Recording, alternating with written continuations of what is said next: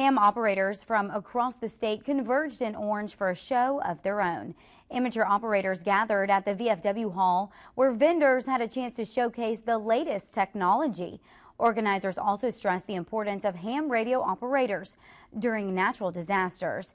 The event was also an opportunity for operators who have become friends over the radio to meet in person. A lot of them will come out for the camaraderie of it to, to meet some folks that they've been talking to for years over the radio and never been able to meet up with them. Next year, organizers say they hope to hold the event at the new Orange County Community Center, where there's more for setting up emergency service displays.